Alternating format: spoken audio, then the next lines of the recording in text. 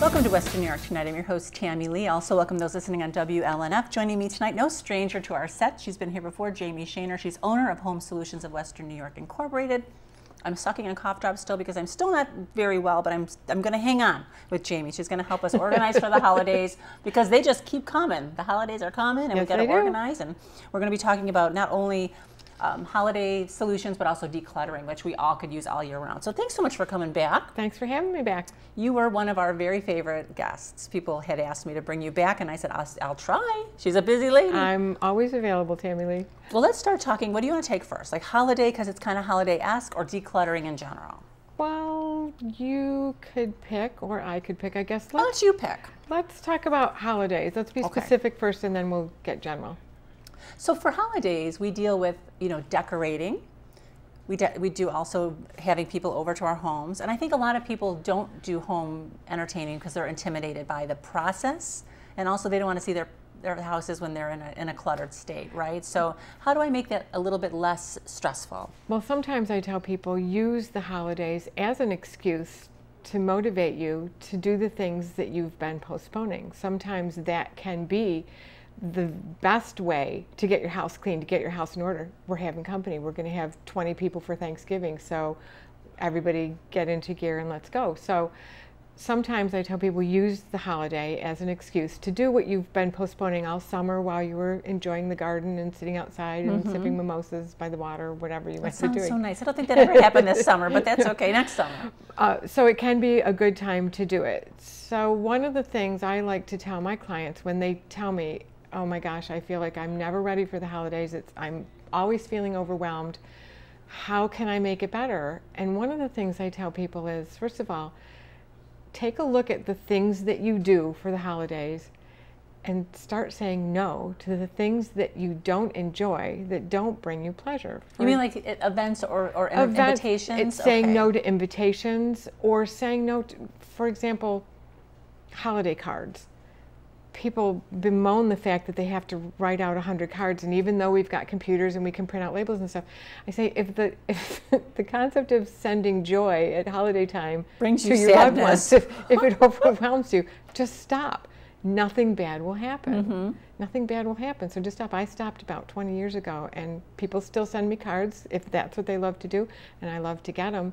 But I don't feel guilty. I never run out and say, "Oh, they sent me a card. I must send one." Mm-hmm. Nope. I, I don't send cards. It just got to be too much. a, a task that is really daunting. Right. Yeah, you're right, and it doesn't bring you pleasure. It's no, a and some right? people do. And then the other thing that I would find a little bit annoying is, okay, here's a card from somebody I haven't talked to in a year, and all it is is stamped with, you know, with their address. It's like Oh. pre-stamped, and they sent it to me.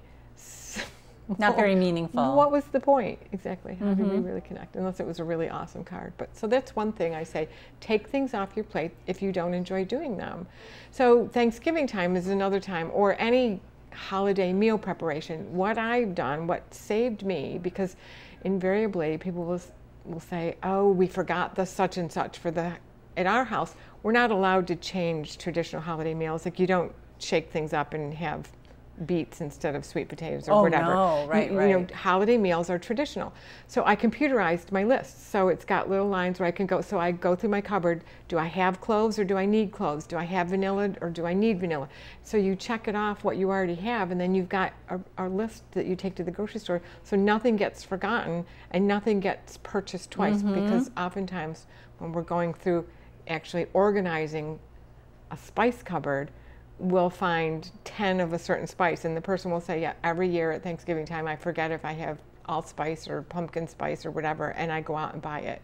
And then they They have ultimately 10 of them. Right, they have But what is your opinion about replacing spices? I mean, I just I had a, had a debate with somebody else about this. They're like, oh no, they're good forever. I'm like, they're not No. really. But you don't place it, replace them every year, do you? well, Should we? Mm-hmm. You should smell them. You Give them a smell. If cinnamon doesn't smell like cinnamon, if cinnamon smells the same as oregano and parsley and it's basil, time to it's time to get change. different. And sometimes you can tell by the style of the tin, Mm-hmm. especially when I'm working downsizing seniors. It's from the to- 70s. You know, it's probably got Well, go. or if it's got the old purple price stamp on it. Oh, We right. actually did just find it wasn't a spice, but it was a cleaning product. It was Windex, Mm-hmm. not the name brand Windex, but it was a Windex product. It had a date on it. It was from 1988. How funny is So that? 1988, and it was still three quarters mm-hmm. full. So either she never cleaned her windows or she, she just kept buying other, and this one got pushed to the back. Isn't that funny? Yeah. You know, when you were talking about holiday prep, I was I was kind of thinking.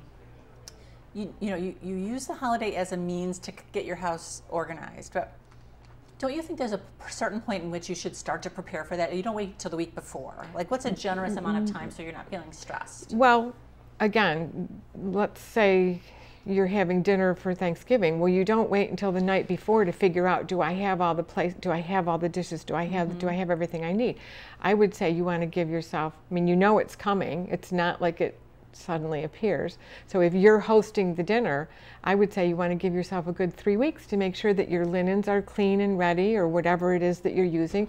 That if you need to borrow folding chairs, you get the folding chairs you need because you don't want to be scrambling and suddenly somebody has to sit in the other room because right. you don't have enough chairs. So it's it, there's a balance so, between how early to do it and then really right. being able to do it with comfort. Because there are levels of preparation. So there's the get the house ready, declutter, you know, mm-hmm. clear the surfaces, do a, a nice deep clean. Then there's the couple days before, what do we got to do? And then there's the night before, maybe set the table the night before so that on the day of the holiday meal, that's already done. Um, and I you can enjoy your company right, too. I think right. that's a whole element as well. If you have everything you're doing on that day when everybody's arriving, there's you're going to have no joy. And you do want to be part of the celebration, not just the chef of the meal. You want to be able to enjoy your company. So yeah, so the more you can do ahead of time, and by streamlining, by coming up with systems that will help you to not be in a panic, it's it's all beneficial. Mm-hmm. Same with the decorating for the holidays, whatever the holiday is well, one of the things I tell people is you, it, you should have the room to store it. So here's a tip I'm going to share. If one blow up lawn ornament is good, oh, five funny. are not necessarily better. better. mm-hmm.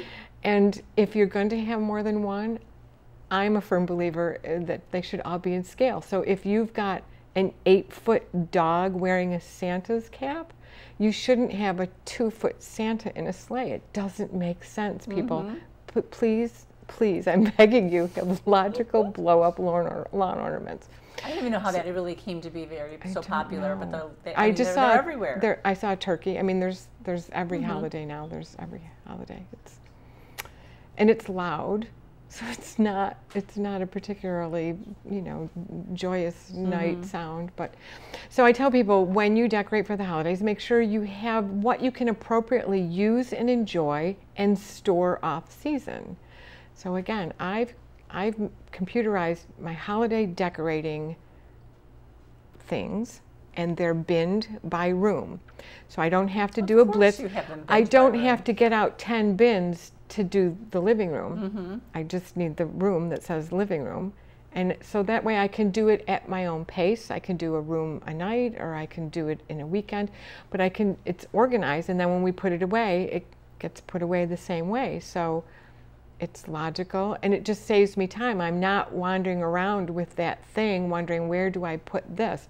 I know it's, I've got a description of where things go they're they're binned by room, and it just makes decorating more fun yeah. because it's not stressful. Because you can enjoy it. Right. Now I have to ask you a question. Do you have your things in clear totes? I have my things in solid gray totes. Do you really? I, I would do. have lost that bet. I would have lost that bet. Well, probably just because they're all uniform. And in the solid gray they come small medium and large. So mm. i like the uniformity of the look. The one thing i'm not a huge fan of but for some people it's helpful is the seasonally colored bins so halloween is in orange and black and christmas is in green and red and hanukkah is in blue and white or whatever it might be. But if you ever downsize now i've got three orange and black bins and what am i going to put in them?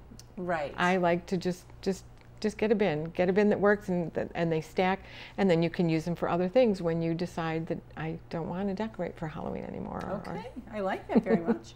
How about in terms of you had gift ideas to reduce stuff? What does that mean? Well, again, we've become such a commercialized consumer society and so often, and especially I notice this more with younger families, where they'll say to me, I don't know what to do. You know, we have three kids and everybody buys them presents and they already have too much stuff. And I tell people, you need to set the rules. You need to set the parameters, and you get to say, no, we let's do this instead. So, so give a gift of an event. Do something together.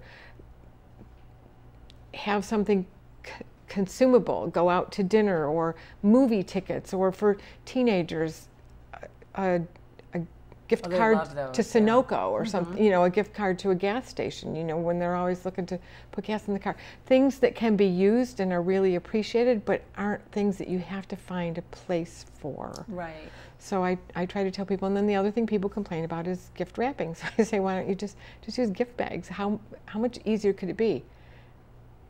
Then to put your stuff in a little cute right. bag. You just have, all you need is tissue and, you know, maybe three sizes of bags, small, medium, and large, and you just, there you go, you're done.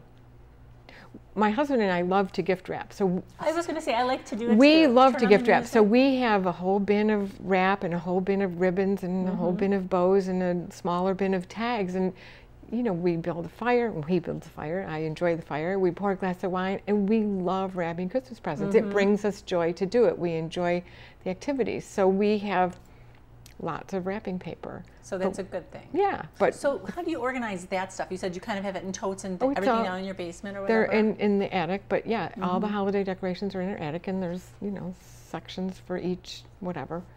But yeah, they're in totes. So about the first week in December, the totes come down, and we start a wrapping. Do it? now, your husband happens to be here, so he'll just pretend we're not talking about him. But Okay. Does he does he have as much of an organizational predisposition, or did you kind of coach him through this super organized I learned I learned from him. Really, He's Okay, more organized than I am. Okay. Yeah. Well, I can tell when he sends me things he is, but I just didn't know like logistically. No, he's very things. organized.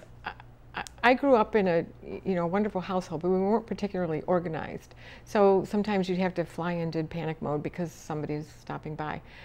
And when I married into his family, everything was always organized, and you sort of take a look around and you, you think this really is easier. Mm-hmm. this is much easier to just maintain. So I'm not and we've talked about this before i'm not obsessive compulsive i'm not cleaning all the time but but when things are in order you don't go into panic if the doorbell rings and somebody stops by you welcome them into your home because you're comfortable you don't have piles of laundry on the couch that you have to lift up and move over in order for them to have a seat Plus, I think internally you just feel better having things just in order. I think that even though it requires effort to, to maintain, it does. if you kind of maintain it, it's not so acute, right? It's not like an acute emergency room visit. Right. Mm-hmm. Sometimes what we have to do is attack a situation to get it under control and then just work on a maintenance program for a mm-hmm. client and and they'll say to me, "Wow, you know, it's so much easier now." When there's a backlog and people get overwhelmed, they tend to sometimes shut down.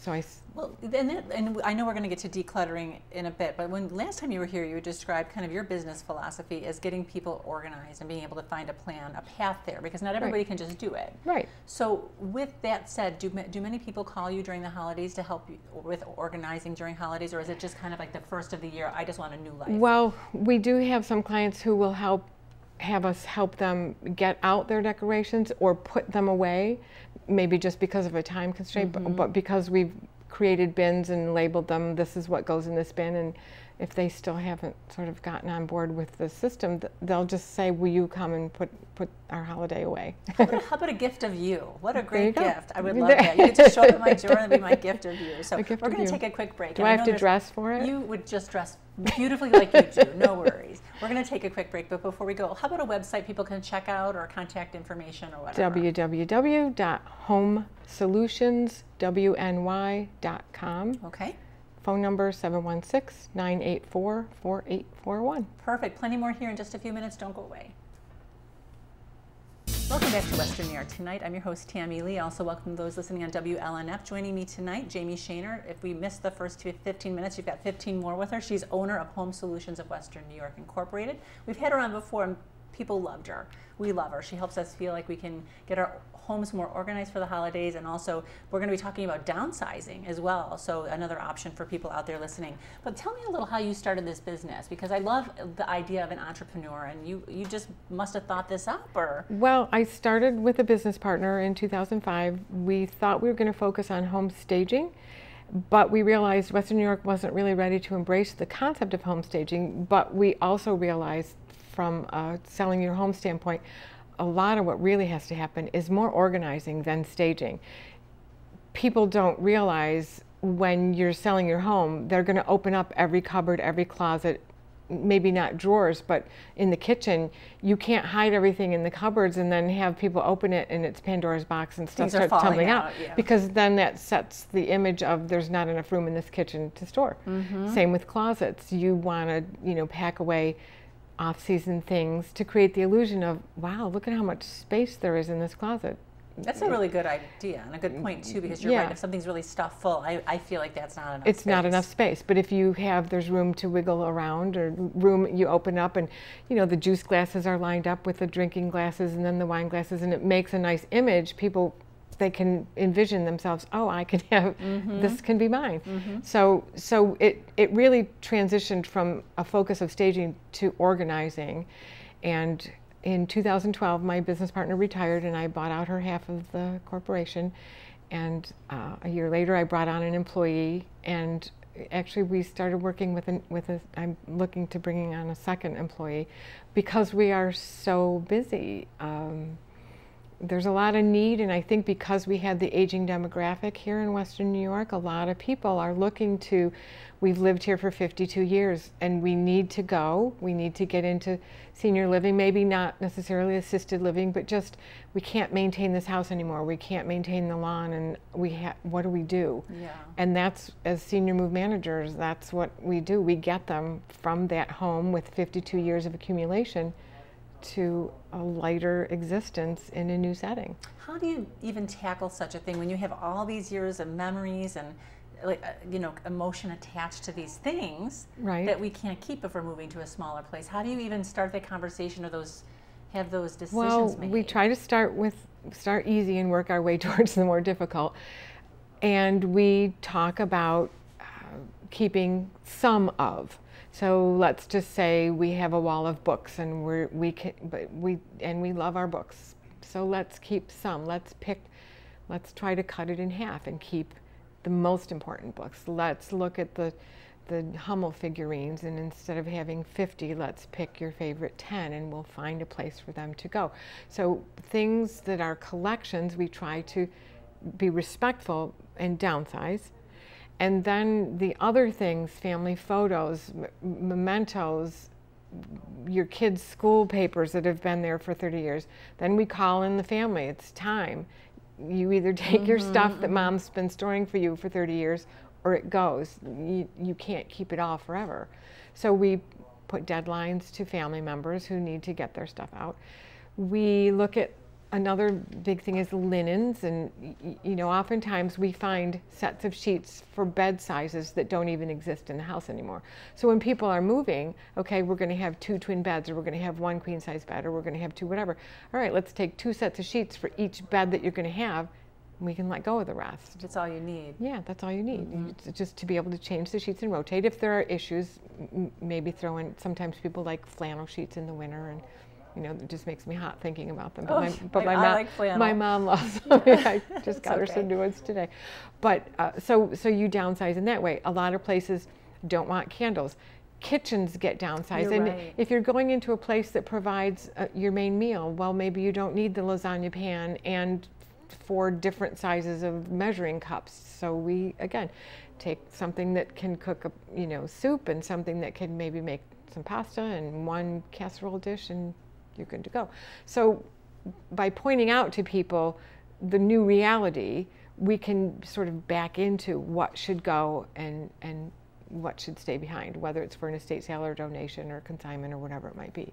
The point of like the kitchen things, I can say, I think a good conversation might be you don't need two lasagna pans, maybe you don't even need one, but if you decide that you do, you can always buy something if you Well, really feel you need it. Right, things that aren't irreplaceable. Yeah, so but the heirloomy stuff I have trouble with. Well, the it's like- heirloomy stuff, I get it, and, and it was, I get it, I do, I, know. understand it. But then so you have sometimes too much heirloomy stuff, and like, like the heavy, how you're describing downsizing, it'll make sense. where does it go? I mean, we're moving somebody now from from a from a very old, beautiful dark wood, uh, Victorian sort of setting, to a light walls oak downsizing apartment. And mm-hmm. so when she said, "Oh, what about those lights?"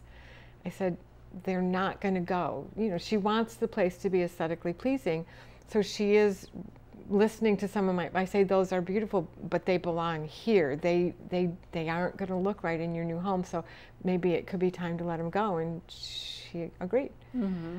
She said, "What about those figurines?" I said, mm, "They live here too. They they're they're not they shouldn't go. The things that you've chosen are appropriate for the space, and you've done a good job. So let's." Stop there. Let's let that go. And yeah. so, do you find resistance quite a bit, or do you think most people, because you come in as a neutral entity, you're not right. a family member or anybody right. who's offering anything but a professional recommendation? Well, and the other thing that will happen is sometimes, rather than engage in battle, and sometimes I, I I'll know. We we moved somebody else recently, and I knew there were about eight too many lamps going. But I said, all right, we'll take them all, and then you get to look at them all in the space and decide which ones you want. Obviously, you're not going to, unless you're going to line them up in the hallway and have a lamp row call me and I'll take them back for, you know, for, we'll donate them or whatever mm-hmm. we're going to do. But just give me a call and I'll come and take away the ones you don't want anymore. And that worked for her. She, she just couldn't decide in this setting what lamps were going to be appropriate in that setting. So we took them mm-hmm. and she chose and, and then she let them go. She, she did a, and you're, you're, you're, you, I want to say you're a fierce advocate because you really want that person to end up in a better spot. Right. But at the same time, you're you know you give them empowerment and respect Absolutely. and i like how that balance well you out. do and and and a lot of times there is the ability to store things not not off-site paid storage but in a senior facility sometimes you get a little storage cage yeah. or in an apartment sometimes there's a, a, a, basement or maybe there's an extra closet so i say all right we can store as much mementos as will fit in this space so, but you're limited, right? And those decisions right. still have to be made, right? So how long do you, does the kind of the relationship end or last with you? I mean, so you it you could, do all this stuff, and you know, like what, what is it? It starts with an initial consultation. So I go and I meet and we do a walkthrough, and and and so that's where the relationship starts. And then we pick the end time, and then we work backwards from there. So some people can can we can go in and blitz. Next week we're going to we're packing a huge city house in two days, moving on the third day, and it'll be over. Oh my gosh, okay. In other times, we need to work in shorter spurts. So a lot of it depends on the client. So sometimes it might be over the course of two weeks. Or if there's a lot of downsizing decisions to be made and family's not there to help with that, it m- might take a month or it could take a year. Mm-hmm. I mean, mm-hmm. I've got somebody that I met with last week who's moving next July, but she wanted to meet with me, and I said, oh. God soon? bless you. No, oh. I was like, this is awesome because I got another guy. went to meet with somebody yesterday, and they're supposed to move November 30th. I mean, we're we're booked. We're literally booked through Christmas. Mm-hmm. But I'm making wiggle room to get them from point A to point B because they need the help. Yeah. So when somebody calls and says, I, I, I want to move in July, I just think, well, isn't that awesome? A breath of fresh air. yeah, you can yeah. really give it some thought. Yeah. yeah. And at least that way you can kind of plan and think right. about that. The one thing I was saying during break that struck us when after your last show was the idea of ways you can still keep mementos and heirlooms, but maybe just as you said, like the collection, respecting them. So many people have different levels of china, like this family's, this family's. Having just a small little play setting of four, or even two, if it's just two of you, right? You can remember that Sure, and enjoy it, meaning. and enjoy it, and but then release the rest of it for somebody else mm-hmm. to enjoy, which is nice. We're this, the people that we're packing that will be moving on Friday. She had four sets of dishes, and so two were similar, and so we looked at the sizes of the plates and the number of things, and you know, I, I said, here's what I would do. I prefer this set, and this is why. I like the shape of this bowl because it's multi, you know, blah, blah, blah, mm-hmm. blah. I mm-hmm. gave my a little input. But if you prefer this, they're equally fine but she liked what I pointed out about the set, so we took the set. She's leaving this the set for. There's going to be a, a, gigantic estate sale. Okay. So that'll you know so that'll be nice. But uh, again, and then she has fine china, which her son said to her, but you, you know we never use it. But she said, but maybe now I will. Now that I'm going to be lighter, maybe I will. So I said to her, how about this? They're in the the you know the quilted dish packs. Yes, that the, nobody ever digs right. into. So I said, I'll make you a deal. If if we take it, we get to unpack it. So when you open up a cupboard, there it is. Mm-hmm. You will be much more likely to use it if you don't have to unzip a thing and pull it out and take off this foam piece and that foam piece and this foam piece and dig to get to the dishes, let's make them so you'll actually maybe use them. And she agreed. She said, "Okay, but can we save the packaging?" Oh yeah, yeah, we can save the packaging. You're so That's good. fine. We're going to take our break, and and we'll have to have you back because Okay. we're out of time with with your segment. But if you can just tell us, Jamie, again, the telephone number and a website for people to call. Telephone number 716-984-4841. Website www.homesolutionswny.com. You can go on the website. You can sign up for a monthly newsletter that I share Oh, tips, lots of tips and, and blog posts and newsletters that people find helpful. Excellent. And so think about the new year and getting all There organized and cleaned up. Set it so as a goal. Perfect. All right. We'll be back in just a few minutes. Don't go away.